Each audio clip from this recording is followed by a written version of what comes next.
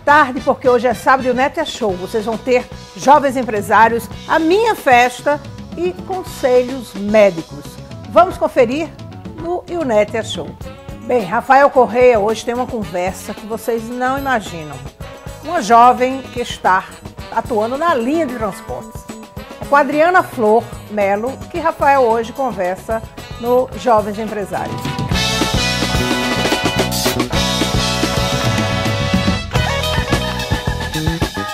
Boa tarde. Hoje vamos conversar com Adriana Flor. Ela vai nos contar um pouquinho sobre a vida profissional dela, no que ela fazia e no que ela faz hoje na empresa. Boa tarde, Adriana. Boa tarde, é um prazer estar aqui e poder falar um pouco da minha vida. É, é um prazer dizer que minha mãe foi a grande incentivadora é, a começar a trabalhar no ramo de transporte. Quando eu quis iniciar, voltei do intercâmbio com 15 anos, minha mãe tinha essa visão de mandar as cinco filhas, né, cada uma morar fora, para que a gente visse um pouco como funcionava a vida lá fora. E quando eu voltei, com 16 anos, quis enveredar no ramo de transporte. E meu pai foi relutante, porque é um ramo predominantemente de homens. E eu estava fazendo, comecei a cursar administração logo depois e disse que queria muito. E minha mãe foi lá e disse, não, ela quer, ela vai iniciar. E eu iniciei há 20 anos atrás, fazendo a parte da conta, a estatística, que era o recebimento de vale transporte, na época em papel ainda. Foi muito salutar porque foi de encontro ao curso, que eu cursava, fazia estatística também, e aprendi muito na empresa de transporte. Após um período, eu saí, saí da estatística, fui para os recursos humanos, na seleção do pessoal, e nessa época nós tínhamos mais de 500 funcionários. Então, foi assim, maravilhosa a experiência. Dentro desse contexto, foi passando os anos e é, fui chamada para ir para o sindicato. O Sindicato de Transporte são sete empresas do, do, na, no âmbito de transporte urbano, que representa a Grande Natal, e doutor Agnello como presidente e meu pai Luiz Flor como vice, ele me chamou para que pediu licença para pais, eu deixasse a empresa para assumir, assumir a superintendência do sistema de transporte urbano. Na época foi assim, eu digo, eu vou sair da minha empresa para assumir um sistema de transporte, sete empresas, são 4 mil colaboradores, e aí eu pensei, eu disse, não, vai ser um, para mim uma grande pós-graduação, porque seria a primeira mulher superintendente. É, todos os empresários das sete empresas são homens e é, você passa a ter uma visão muito maior. Então eu assumi é, esse desafio, digamos assim. E passei cinco anos. Nesses cinco anos nós implantamos no sistema de transporte, foi um grande avanço, porque nós implantamos o sistema de é, o cartão Natal Card, que antes era papel, e nós tínhamos problemas graves de roubo. E o Natal Card hoje viabiliza que qualquer pessoa pode utilizar a, a segunda perna da passagem, que nós chamamos, sem pagar. Que isso nós implantamos. Em primeiro lugar, eu coordenava as estações de transferência. Eram 11 estações de transferência da cidade. E após as estações de transferência, nós fizemos a integração temporal, que é a integração em toda Natal. Ou seja, a, a, Grande Natal, que representa o sistema VIM da Zona Norte para a Zona Sul, que é o grande, a massa de trabalho nossa, vem para a Zona Sul. Então ele passou a ter um milhão de integrações e não paga essa segunda passagem, que hoje é 2,20. Então foi um grande ganho para o usuário do sistema de transporte. Então na sua gestão foram implantados os cartões e as estações de transferência. É, durante quanto tempo você permaneceu na superintendência? Cinco anos. Eu saí recentemente, meu pai teve um problema de saúde e eu voltei a assumir a empresa. É, já era tempo, nós já tínhamos implantado realmente o que eu tinha ido para lá, minha tarefa foi cumprida e agora realmente nós vamos precisar ter mais atenção, vai ter um processo de licitação e foi a época certa de eu voltar para a empresa.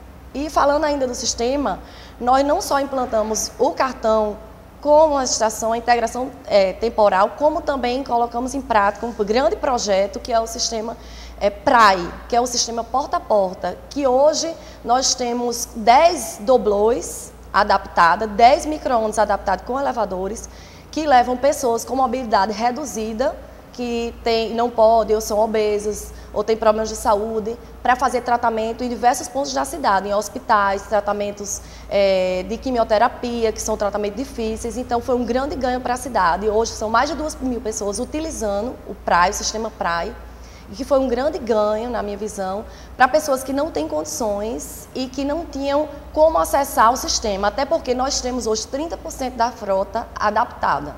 E na nossa gestão nós compramos 100 novos ônibus do sistema e adapta, todos adaptados, com elevadores. E dentro a população que necessita, a gente tem um, grande, um grave problema. Nós colocamos os elevadores nos ônibus, só que o passeio público não, é, não está de acordo, porque os elevadores têm uma altura ideal. Então, o passeio público não, dá, não está adaptado para isso. Mas nós cumprimos nossa parte e a promessa que nós fizemos que iriam, iríamos completar a frota, 30% da frota tem elevadores, para a parte das pessoas que não usam o sistema PRAE, usam os elevadores da rota normal, das linhas normais. Agora deixa eu lhe fazer uma pergunta. O trânsito de Natal hoje está se tornando um trânsito meio que de cidade grande. Ele tem solução para o, o, trânsito da, da nossa cidade tem solução? Hoje nós já temos corredores exclusivos, né? Corredores exclusivos só para ônibus. Mas isso não soluciona. Nós temos grandes debates hoje com a CEMOB, que é a Secretaria de Mobilidade Urbana, que houveram várias mudanças agora, né? com o secretário, mas tem grandes projetos até para a Copa. Então tem grandes projetos e verbas para a melhoria da, nossa, na, da, da malha viária e isso traria um, grande é, um aumento do fluxo, mas com maior mobilidade. Você não passaria. Tem as vias hoje o passe livre e as vias livres, que são que dá maior mobilidade ao tráfego. Mas como a cidade vem crescendo muito, tem que ter um grande estudo nós pedimos sempre para que os ônibus a gente tenha pelo menos um horário, a, nós temos horários a cumprir. Então a população quer estar no horário é, pré-determinado. Infelizmente, com essas dificuldades que nós temos no trânsito, e mudanças que mudam diariamente, a gente tem mudanças no tráfego, então isso dificulta um pouco.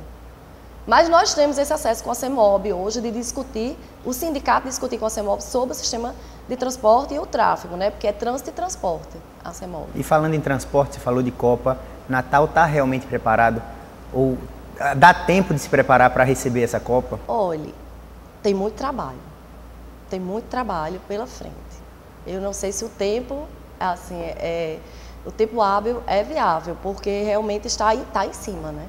E tem grandes mudanças a, ser feito, a serem feitas. No, no, que diz respeito aos ônibus, nós temos hoje mais de 800 ônibus, certo? Os ônibus, nós estamos com a frota que hoje a idade média da frota é, é exemplar. Nós realmente compramos muitos ônibus novos. Isso é visto a olho, a olho nu na cidade que nós temos uma frota hoje nova.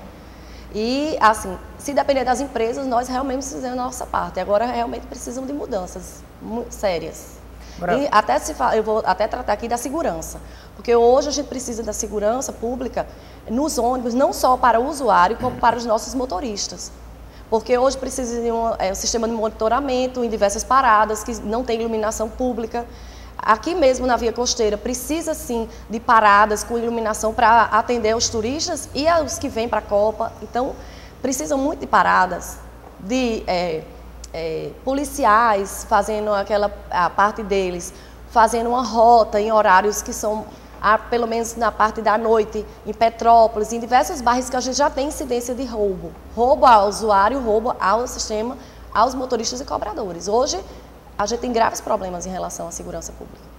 Você acha que uma das soluções para a segurança pública seria é, o que o vídeo monitoramento? Isso é muito importante. Isso é feito no Rio de Janeiro, já, já é feito em, Recife, né, mais próximo no, da gente. Em Fortaleza, eu acho que isso é um passo à frente, porque né, nas áreas que já, já tem incidência é, de problemas com, com roubo e aquelas. Então, isso seria um ponto que nós já colocamos, inclusive, para que fosse feito. Infelizmente, ainda não foi feito. Tem, temos pontos de monitoramento, mas são muito poucos. Saindo desse lado mais sério, é. eu queria agora saber quais são os seus hobbies. Você como uma mamãe exemplar, uma esposa, ah. uma filha, nos diga aí um pouquinho sobre os seus hobbies. Vamos mudar mesmo, porque o assunto é muito sério e tem gente que pergunta como é que você consegue lidar com transporte? É um assunto tão difícil e pouca gente conhece sobre transporte. E você lidar com casa e muitas irmãs. Então, assim, eu gosto do que eu faço. Eu tenho uma filha de dois anos, tenho um filho de 11 anos, que esse aí já está um rapazinho. Então, assim, ontem mesmo estava deixando a pequena na escola e depois tinha que ir para a empresa. Mas eu gosto de estar com a família. A família Flor é uma grande família, muita gente sabe que a gente adora receber, a gente adora estar em casa e receber em casa. Então, assim, nós temos uma propriedade em Muriú, na Lagoa, onde para a gente, no verão, é receber os amigos. E meu pai sempre ensina para gente que o melhor mesmo é estar tá junto da família, que é a alegria. A alegria da gente é poder é, compartilhar com os amigos, e além disso é brincar mesmo, brincar e viajar com a, as irmãs, com meu pai. É, quando eu posso, eu faço pelo menos uma viagem internacional por ano, junto com a família e uma com meu marido, só os dois, que a gente precisa um pouco sair dessa rotina. Principalmente a minha rotina é muito estressante em relação ao sistema de transporte. Mas eu sou uma pessoa feliz no que eu faço. Adoro trabalhar com transporte, faz 20 anos que eu trabalho com isso. Eu entendo hoje de transporte. E é isso. Adriana, eu gostaria de agradecer.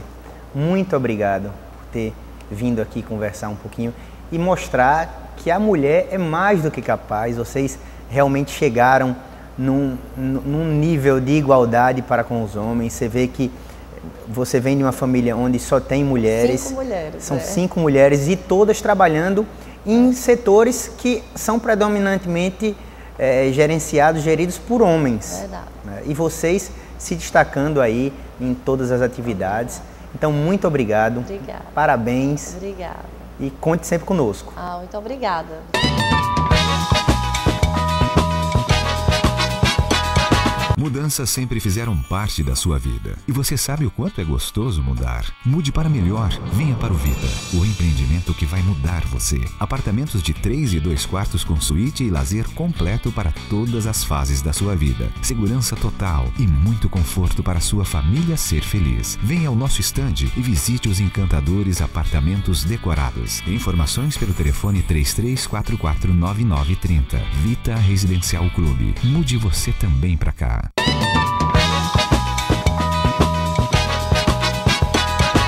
Celebration, vocês vão ver uma tarde de botequim que foi meu aniversário no Imare. Vocês vão ver o que, que a Brahma fez. Colocou as choperias da Brahma Express, que foram um sucesso. Confiram a festa que foi maravilhosa. A sua festa também pode estar aqui no nosso programa.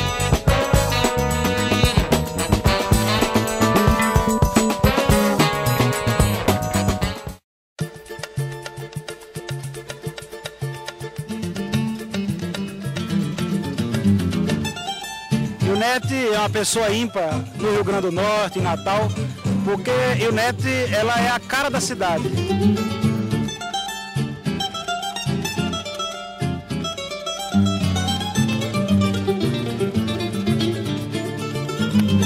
Uma tarde de botequim é a cara de Unete, sabe? Porque o Unete sempre gostou disso, gostou de receber os amigos. Olha, eu quero parabenizar a Fofa pela figura gostosa que ela é, sempre bem com a vida, bem humorada. Ela que tem história no Colunista Social do Rio Grande do Norte, com 40 anos de atividade, que o colunista, como Câmara Cascudo diz, é o historiador do cotidiano desta sociedade. E o Neto é uma amiga de alguns anos e ela sempre na mesma simplicidade com todos. Ela é uma pessoa de muito acolhimento, amizade.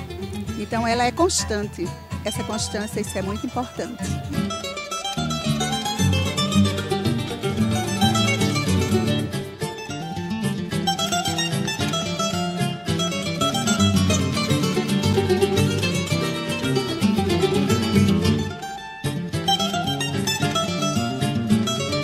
É um local bastante agradável, né, de fácil acesso e com uma beleza natural aqui das nossas praias aqui, então é um local muito agradável para fazer uma festa, uma comemoração.